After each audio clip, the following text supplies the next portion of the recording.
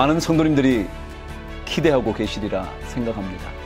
저 또한 하나님의 역사가 말씀을 통해서 여러분과 저 안에 그리고 은혜 한인 교회에 차고 넘치게 되기를 기대합니다.